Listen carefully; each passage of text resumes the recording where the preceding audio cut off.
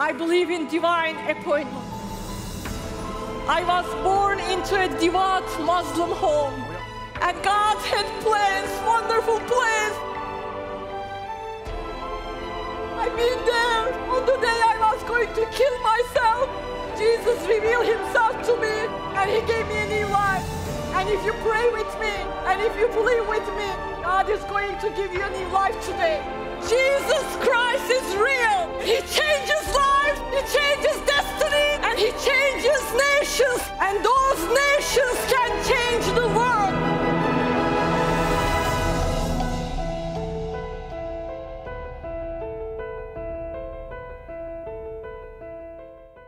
Acts chapter 4, verse 13. When they saw the courage of Peter and John and realized that they were unschooled, ordinary men, they were astonished and they took note that these men had been with Jesus. God can make you smart. God made me smart, and He can make you smart too.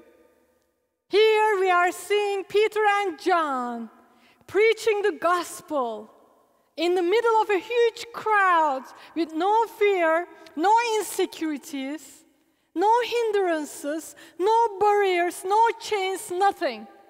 They are standing and they are proclaiming the gospel. And people who were listening to them are saying, Wow, these men are unschooled. They didn't go to school of divinity. They didn't go to seminary. They didn't have, they don't have masters in theological studies. They don't have anything. They don't have diplomas. But you know what? They have been with Jesus. And that's good enough. They were with Jesus. I remember all my life I was trying to prove myself to my father, who told me that I was an idiot. You are stupid. I was getting good grades. I was stupid in his eyes. I started college at age 16. I was stupid back then. I graduated at age 19. Nothing could convince my dad that I was smart. And finally, after you hear the word so many times, as I always say, faith comes through hearing, hearing the word of God. But faith comes through hearing, period. Watch what you hear. Watch what you tell yourself. Watch what the enemy is telling you. What you are listening becomes a faith sooner or later in you. And I started believing to that voice that I was stupid, I was dumb. And you know, it didn't matter how many diplomas and how many schools that I went, I always felt stupid. And I have done some very dumb mistakes in my life. And at the end, I said, I make stupid decisions. And how many of you know that you can be the smartest man or woman on the face of the world and you can still make the dumbest mistakes? And I was one of them. Then I came to Christ and I felt more dumb because everybody knew the Word of God and they were quoting even during their prayers. Oh, people would pray with scriptures that I had no clue what they were talking about. And I was trying to read the English Bible, and because of my language was so poor, I didn't understand. I didn't understand the Bible. And one day, I wept. And I wept and I wept before the Lord, and I said, I want to understand your word. I want to understand, I want to read it, and I want to get it. Because I was so hungry, I was like a sponge. I would go to church every day and would, uh, could understand only one scripture or one sentence out of a half an hour or an hour sermon. Can you imagine? I could understand one thing, but I could take that thing to the heart. I remember first time I heard my pastor preach on do not be wise in your own eyes. I said, wow, do not be wise in your own eyes. What a big word. And I kept that and I wrote it down. And I said, wow. And the next week he said, God says, my ways are higher than your ways and my thoughts are higher than your thoughts. I wrote it down. And I didn't remember or understand anything else he preached. But it sounded so profound, so intelligent, so smart. And I started praying to God to give me understanding. I said, Lord, I want to understand your word. I want to understand. And one morning I remember I was crying and crying to understand. I was suffering with the limitation of understanding. Then something happened that morning. Maybe I was in the Lord for six months or a year, I don't remember. But something happened. I started reading the Bible, and we never can understand everything. Because every time you read it, God reveals something else. But literally, I was reading and understanding. God gave me that morning understanding His Word. Sufficient enough to feed myself. You know what a joy it was? God makes us smart. You know, when I was going to learn English, I was going to English courses. And in the classroom, I remember my English teacher said, she said, English is the richest language in the world. And th- that was shocking. And then she said, if you finish high school, you can read this many words. I'm just saying what I remember, maybe three, 4,000 words English you can understand. She said, when fin- you finish college, it is about seven, 8,000. When you have your master's, it is about 10,000, but Bible is 15,000 words, new words. It's a PhD level. She didn't say that, but today I see that. God makes you smart. My husband, who doesn't have diplomas, who doesn't have a lot of education in the natural, but he knows the word of God so well when he speaks, I say, wow, this is godly wisdom and intellect. God can make us smart. It is amazing. I remember one day my team came to me and they said, This man is calling you from Turkey. And he's desperate. He wants to talk with you. And there are so many Muslim people, they, through my live broadcast to Turkey, Iran, they call and they want to directly talk to me. And sometimes it is not possible because of the numbers of people that they want to talk with me. But this man was like a persistent widow. He was just keep knocking. I need to talk with Abla. I need to talk with her. And finally I gave in and I said, what does he want to talk? And they said, he had dreams and he wants to tell you about his dreams. And knowing Muslims are coming to Christ through dreams and visions, and a lot of people, they write to me their dreams and they want interpretation. I said, here another one, because people write me four, five, six pages dreams and ask me the meaning of the dream, their dreams. But this man was so persistent. Finally, I called him. And when I called him, I was amazed because he never, he was not literate, he never read or write. He didn't know how to read or write. He had four dreams about Jesus. In his dreams, Jesus revealed himself to him as the Messiah, as the Son of God, Savior of the world. And after the dream, this man went on his knees in the middle of a desert in Turkey, in the middle of nowhere. He received Christ as his Lord and Savior. In the second dream that he had, he saw Jesus feeding 5,000 people. And other events that Jesus had done, he saw in his dreams. And by the fourth dream, this man knew the Bible. He knew the Word of God through revelation only. And he was speaking like an eloquent theologian on the phone with me, and I was just crying the entire time of my conversation with this man. He never went to school in his life. He had no school in the 50 mile radius where he was living, he said. But he was so smart on the phone that I felt like taking notes while this man was speaking. And he had one more dream that he had to share with me that he didn't understand the meaning.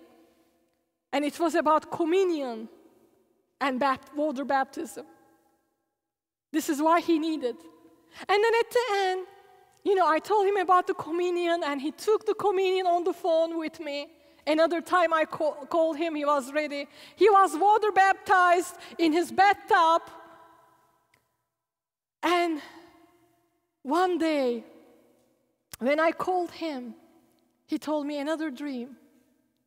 Jesus was taking a rope from his shoulders and he was putting his robe, his priestly garment, on this man. And I told him, God is ordaining you, He is commissioning you to share the gospel with others. And this man was crying, I was crying on the phone. And after I hung up, God is using him mightily today. But after I hung up and I asked the Lord, Lord, I didn't lead this man to you that he called me. He doesn't have TV to watch my programs. He had to go to a big, another town, bigger town, to find a young kid, to go to internet to find a Christian female preacher. This is how he fi- find out about me. He never watched my programs, so he's not one of my viewers. Why? I mean, you reveal everything to this man. You made him smart. Why this man had to call me? He didn't need me. You could tell him about communion. You could tell him about everything without me. Why did you, you wanted him, this man to call me? Because he had a dream about me to find me. And Lord spoke to me. He said, I don't need you. The reason I made him call you was for, him, for you to know that I am working behind the scene and I am pouring my wisdom and my intellect and my words upon the Muslims. It was not for his sake that he called you, it was for your sake that you would be encouraged because you were asking me if you were fighting the fight by yourself. And he said to me, With me, you are majority. Because, yes, I was asking God when I was going to Turkey, when I was in, in the middle of a country of 78 million Muslims, and seeing them bowing down to a false God every day, five times a day, I was asking, How is this going to happen? How are you going to change this? How is it going to happen? It looked impossible from my natural eyes. But God was telling me that He was working behind the scene. And it was not because of me and my efforts that had to save Turkey or Iran or Iraq or Afghanistan or Syria, but it was Him working behind the scene, making people smart, pouring wisdom upon the people are unschooled, have no resume, no good track record of corporations, IBM, Apple, Sony, or this and that. He was using them to build his kingdom. Because he's the God who uses the choose the foolish things of the world to shame the wise. He's the God that who use and choose the weak things of the world to shame the strong. So, your intellect, your diplomas from the worldly perspective may mean a lot to you, but it means nothing to God. And he was telling me through this man, unschooled, illiterate, I make people smart. I take a fisherman that nobody pays attention his occupation is catching fish, nothing else. You don't need to be an engineer to catch a fish. You don't need to be a doctor to put a bait and catch a fish. You don't have to have a master's degree to catch a fish. It's a simple act. Probably anyone can do it.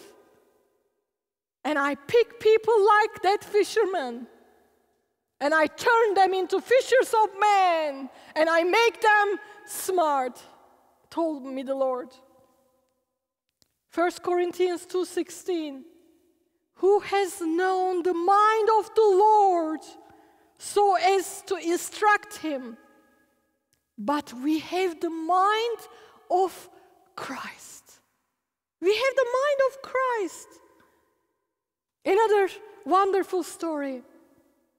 There was a man who was in a prison in Siberia. It used to be in Russia. He was in a prison in a very difficult conditions. It was a political criminals prison in Siberia. So everybody in the prison except this man was smart. They were lawyers, writers, speakers, actors, all kinds of political criminals, except this man. This poor man felt so stupid in the amongst of all these smart guys, intellectual guys. He would listen to them, but he, wouldn't, he couldn't understand anything. He would just do the worst work in that prison. He would take the trash out, clean the restrooms, or even they didn't even have restrooms, imagine. He would clean the dirt and the filth after this man that were so well educated, so smart. One day he was taking out something very, very disgusting in a can outside of the camp. He saw a one page paper, dirty, little, ugly, wet paper hanging on that can, sticked in that can. He picked up that paper and he dried. He could read hardly. After he finished his business, his assignment, he went inside the, the prison cell and he sat down on the floor and he tried to understand that page back and for, front. And then he started reading it, he didn't understand. But he wanted to be smart, he wanted to understand. He, and it was a page from book of John, one page back and forth. Not the entire Bible, not the New Testament, not even one chapter from book of John. Only two pages. And he sat down, he read and read again and again and again. And something started happening to him. Faith comes through hearing, hearing the word of God.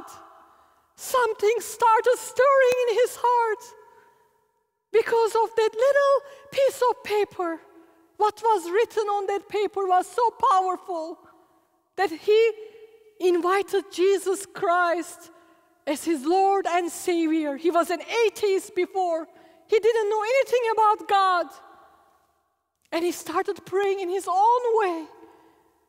He said, Author of this paper, I want to know you. And God came and started living inside of that man. And you know, this story is written by a man that was one of his friends in that prison. And he said, after that day, that poor man became the smartest man in that prison. Just because word of God, living word of God was living inside of him. He was transformed and changed. He would sit down and talk about God for hours and explain things and mysteries to people in that prison who were doctors, philosophers, lawyers, judges, all sorts of high level, high rank political criminals.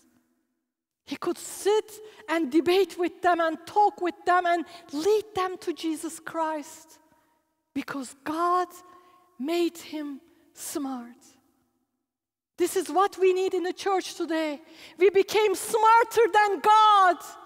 We know what we are talking. We know how to run the church. We know how to do a worship service. We know how to do everything. Recently, I have an organization and I have a board of directors in my organization.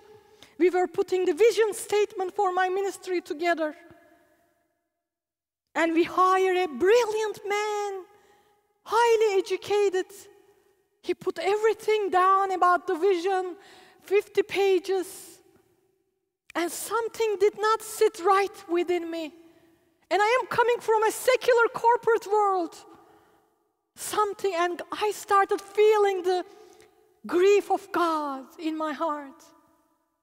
He said, he whispered gracefully and loving me. He said, Are you going to run this ministry? Like you run? You ran a company? Are you going to run this like a business? Don't you need me here?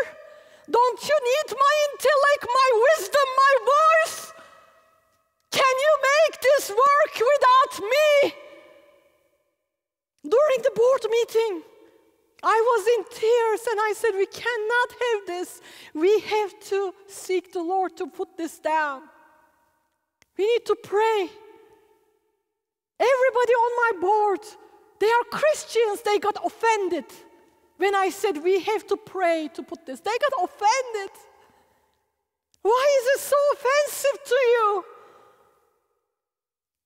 When I say that don't run the church like you run the business, why it is offensive to you? If you are not going to pray, why don't you go outside in the secular world and find a profession? Why you choose a church of God, house of prayer, to run it like a business? How dare you try to do that? This is why church is dying in America. This is why people are changing churches from one church to another. But not souls are getting saved and increasing in the church. If one church is increasing majority of the time, another church members are going to that church. Not we are seeing the lost get saved. What church is doing is right now pointing their fingers at the lost and their lostness, while we are ourselves are so lost in our ways apart from God. And sometimes I tell the Lord, Did you bring me from Islam to see this? Did you bring me from false religion to see this? And Lord says, Every time I ask him and I complain to him, he says, If you don't like the game, change the game. If you don't like it, do something about it instead of complaining about it. Jeremiah 33 3 Call to me, and I will answer you and tell you great and unsearchable things you do not know. Daniel 2:47 The king said to Daniel, Surely your God is the God of gods and the Lord of kings and a revealer of mysteries. For you were able to reveal this mystery when he interpreted his dream, king's dream. God's name is, I love to write down God's names. I have a big book only for me printed out. My assistant put, in, put it together for me. I write God's names. He's the bread of life, living water. He's Alpha and Omega, beginning and the end, infinite God. He's the judge, builder of all things, architect, author and perfecter of my faith. All his names. And this scripture recently gave me a new name for God revealer of mysteries. Genesis 18. Then the Lord said, Shall I hide this from Abraham, what I am about to do? One man is so close to God, walking with God so closely. He's called friend of God. And imagine God is saying, God of the universe, creator of all things, are saying, Am I going to hide this from Abraham? Wow. And he reveals what he's going to do to Sodom and Gomorrah, to Abraham. You know why? Because Abraham walked to walk with God. Paul said, kingdom of God is not matter of talk, but power. But power. When you have the wisdom of God, when you have divine wisdom, you have power. Today, church needs unction. Holy Spirit's power from the pulpit. Today, this is what we need that the word, sharper than any double edged sword, comes and cuts the hearts of people and brings transformation. Today, we need to turn from our worldly ways, our secularism, our New Age teaching to God's ways.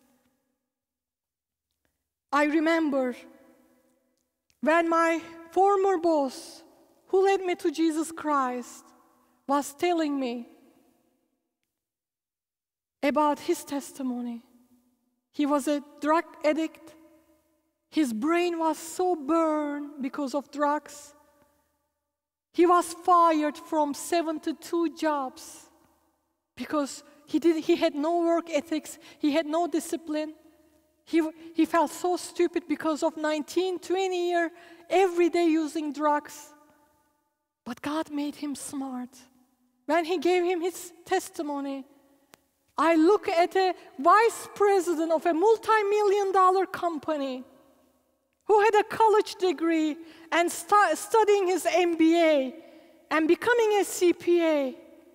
A man, once his brain was so fried, he could not think, he couldn't separate from his right from his left. And that man was sitting in front of me. By the power of God, who became smart, who became brilliant, and later on, who led me to Jesus Christ. We changed my life. And I said to the Lord, Maybe today this is your prayer. Lord, I don't want to be street smart anymore. I don't want to be worldly smart anymore. I want to be godly smart. I need the mind of Christ. I need mind of the creator of the universe. This is what I need. Give me your mind. Give me your heart. Give me your brain. Give me your thoughts because my ways are pitiful and wretched and my own wisdom is demonic bible says i need your wisdom i failed in my ways and today i want to be godly smart make me smart like peter and john in jesus name amen